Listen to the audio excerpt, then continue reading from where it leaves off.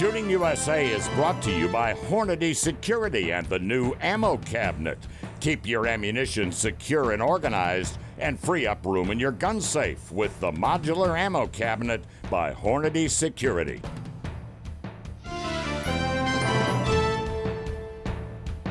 Welcome again to the Shooting USA YouTube channel. We're glad you're here. You may have noticed that there are billboards and commercials for companies that support Shooting USA, as opposed to allowing YouTube to insert company commercials for brands that aren't related to the firearms industry. It's important that we support those that support our Second Amendment rights. Now, here's the content. It is the shooting sport that is as simple as it is difficult. How fast can you draw and shoot five steel targets? Well, the answer at the top of the game is really, really fast. In many cases, less than two seconds. It's the truest test of pure speed and accuracy. The sport is steel challenge competition. And the best in the world are in Florida to find a champion. John and Mike bring you our coverage.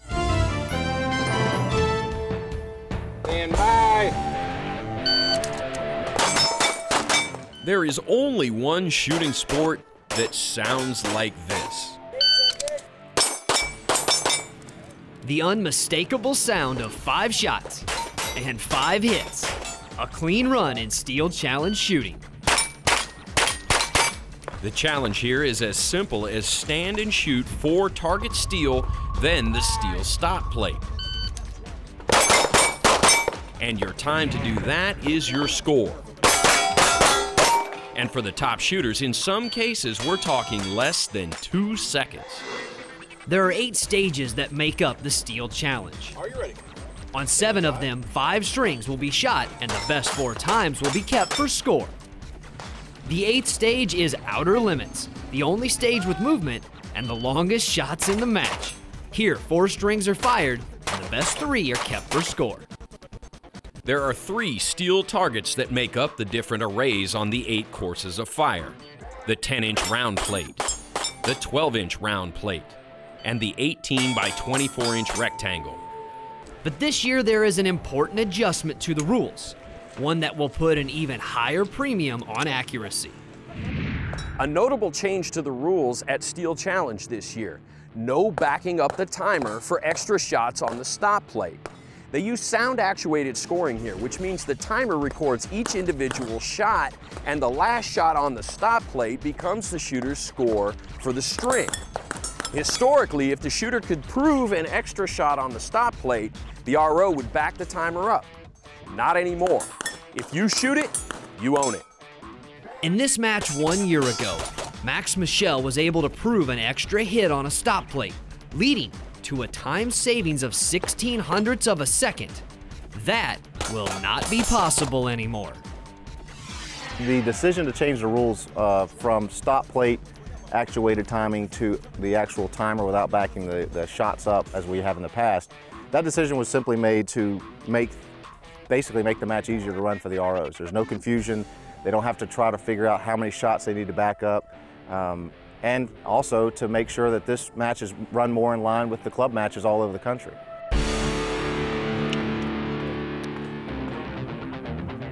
Rule changes aren't the only new interest at the match this year. Jason Moore is here spearheading what could be another way to boost participation. Jason is running a rimfire conversion on his sporting rifle, potentially a new division at Steel Challenge. What's the idea shooting uh, shooting steel challenge with a rifle? It's great. It's cheap. It's fast. Uh, I can keep up with the pros, and uh, best of all, it's cheap. More guns in more divisions in the match means success, and so do first-time junior shooters. Noah and Blake Balcom are here with their dad, Smith & Wesson pro Trevor Balcom, shooting their first steel challenge. For Blake, signs of improvement begin to show on the stage Accelerator.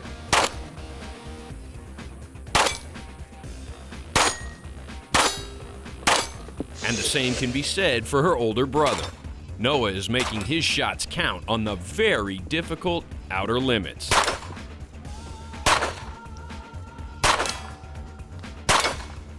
And for Noah, this day is about more than just shooting. It's fun. I like spending time with my dad, and I love shooting just like he does. So it's it's fun hanging out with him. It was fantastic. They, uh, they both did real, real well. Um, I think they probably had more clean runs than I did. Uh, they, they handled the weapon safely, and they had a good time. They met some great people. You can tell by looking, Trevor is one proud father, and congratulations to Blake and Noah on their first Steel Challenge. Well, it really was neat to see, and he's right. They both shot great as first timers. But coming next, the big guns take to the stages to find out who's got the stuff to be world champion.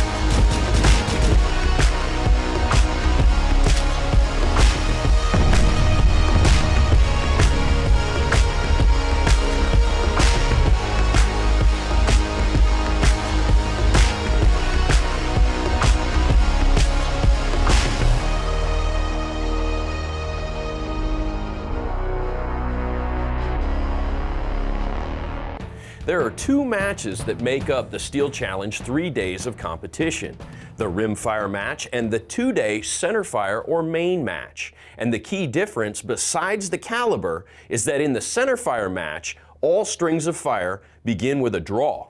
Also worth noting are the competitors who shoot the rimfire match and both days of the centerfire match in pursuit of the Steel Master title, the best combined score after all three events. And only a select few competitors tackle this monumental feat.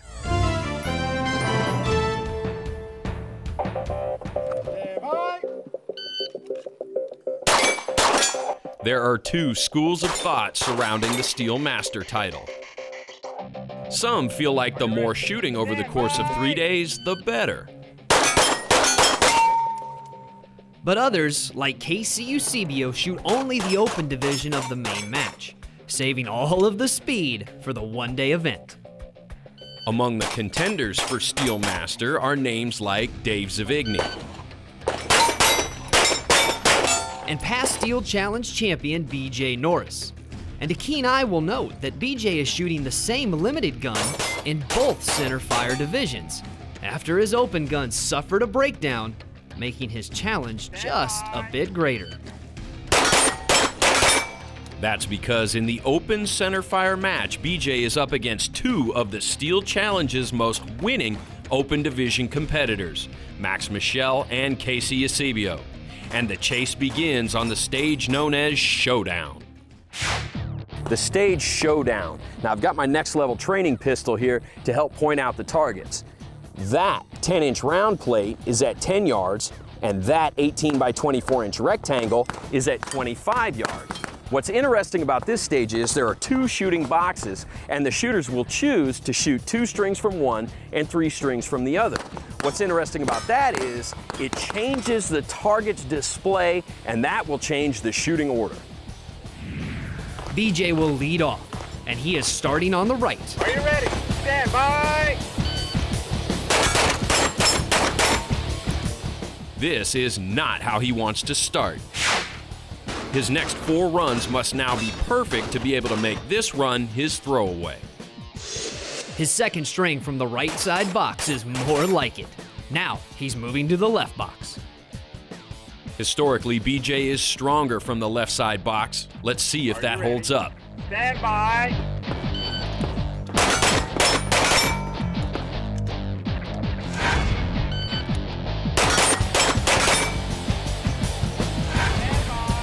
The final string was just a bit off the pace, but still, five for five solid shooting from BJ. Solid indeed, but now it's Max Michel, and Showdown is one of his strongest stages. Are you ready? Stand by! Max also chooses to start from the right hand box. And that's why. His first two strings are a great start.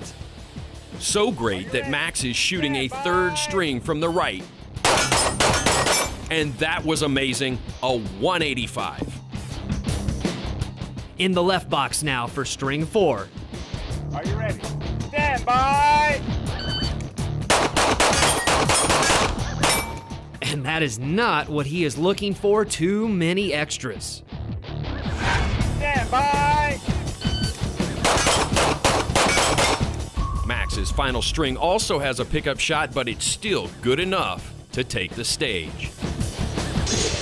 The stage pendulum, two 12 inch targets and two 10 inch targets set at 18 yards. The 12 inchers are on a six foot post and the 10 inchers are on a five foot post.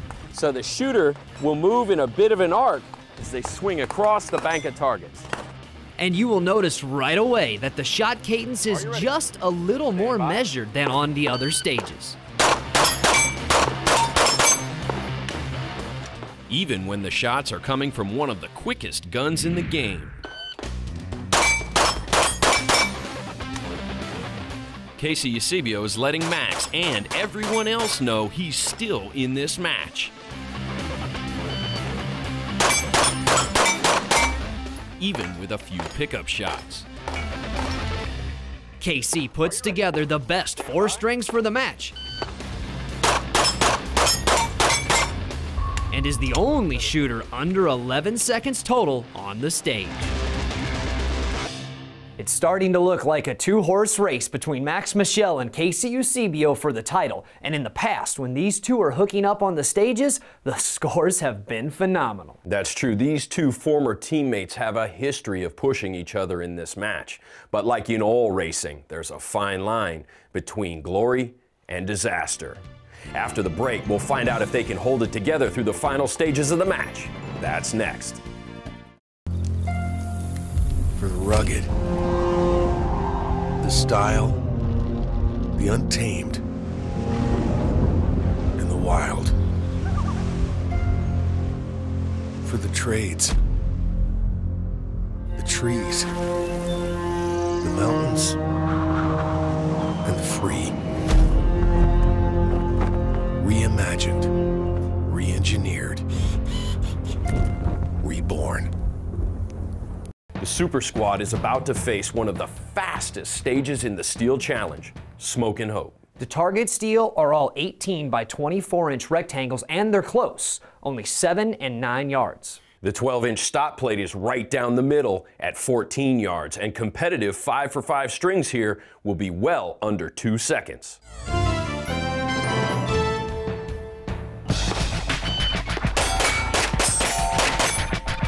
The key to shooting a match-winning string is to shoot accurately. You will never outrun a miss. But the next best thing to a clean 5 for 5 string is a fast pickup, and Max Michel is one of the best at it. After his blinding first string, Max doesn't hook up 5 for 5 again. Even so, he is the fastest in the squad on the stage.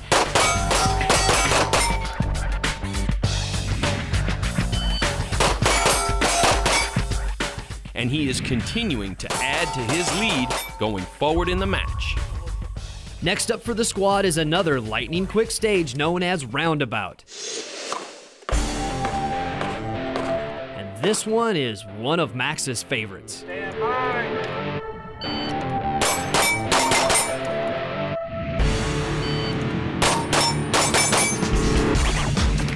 This is Max Michel at his best.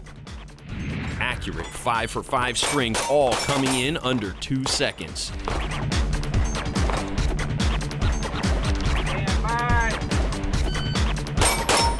And his best for total 7.51 seconds. Casey Eusebio is not ready to hand over the title of champion just yet. He is very strong on Roundabout.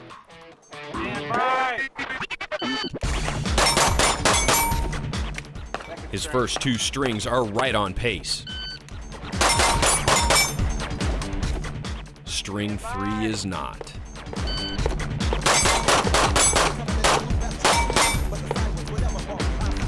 So now string four and five must be solid, or that three second blunder will be on his scorecard.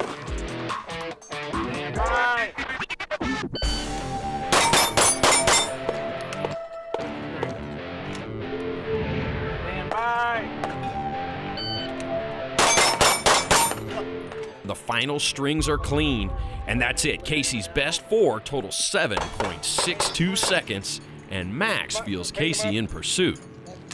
you know, when, and when you're when you're chasing someone, it's you, you get that little bit more drive, determination to go up, and you're not shooting scared. So he shot really, really well here. He wasn't scared. He was coming to get me. So It may be that bit of pressure that lights Max's fire. Maybe he had it in the tank to spend. Either way, Max wins the next two stages outright. Five to go is a slam dunk. And so is speed option.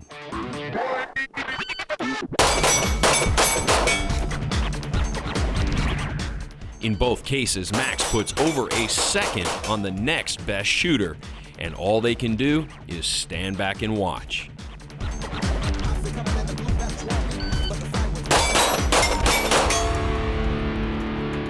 That late surge gives Max a big cushion going into the final stage of the match, more than four seconds ahead of Casey. Outer limits. The two 18 by 24 inch rectangles are set at 35 yards away. These are the longest shots in the match. Also, this is the only stage where shooters move on the clock. Right-handed shooters from the far left box to center, and left-handed shooters from the far right box to center. With that great an advantage, all Max has to do is cruise, and he will become only the second shooter to claim four World Steel Shooting Championships.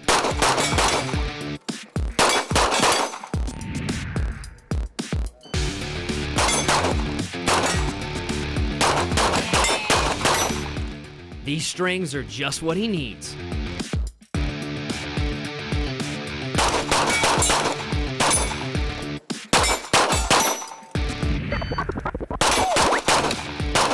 His best three total 13.2. That's enough to claim his fourth title.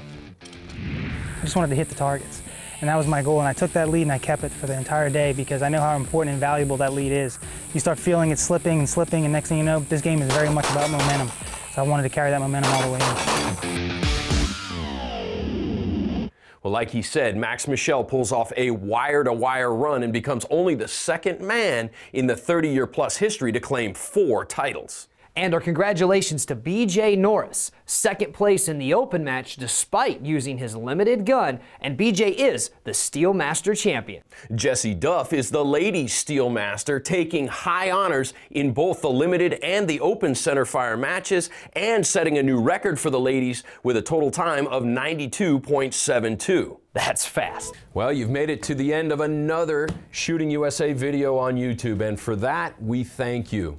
It does help the channel if you subscribe, like, and comment, and that will help us keep the content coming.